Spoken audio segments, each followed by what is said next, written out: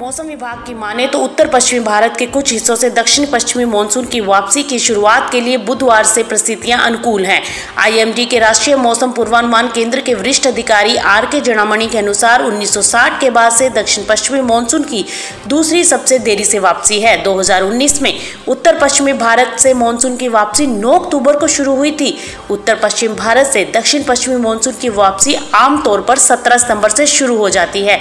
वही मौसम विभाग के अनुसार बुधवार को सुबह उत्तर प्रदेश के कुछ जगहों पर बारिश होगी। मौसम विभाग के मुताबिक बुधवार को यूपी के कई हिस्सों में बारिश हो सकती है। इसके साथ ही स्काईमेट वेदर ने भी बुधवार को कई राज्यों में बारिश का अनुमान लगाया है।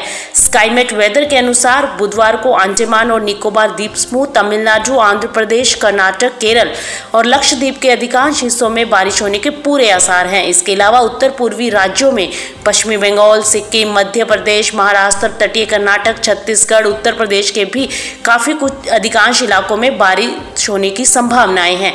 स्काईमेट वेदर का अनुमान है कि 9 अक्टूबर तक मुंबई और उसके आसपास के इलाकों एवं कोंकण क्षेत्र में हल्की से तेज बारिश होती रहेगी।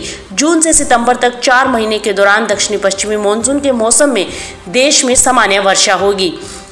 एक जून से 30 सितंबर तक अखिल भारतीय मानसूनी वर्षा 27 सेंटीमीटर रही, जबकि 1961-2010 के दौरान लंबी अवधि का औसत 88 सेंटीमीटर है। यह लगातार तीसरा साल है जब देश में सामान्य या सामान्य से अधिक वर्षा दर्ज की गई है, जबकि 2019 और 20 में सामान्य से अधिक बारिश दर्ज की गई थी। Bureau report Market Times TV.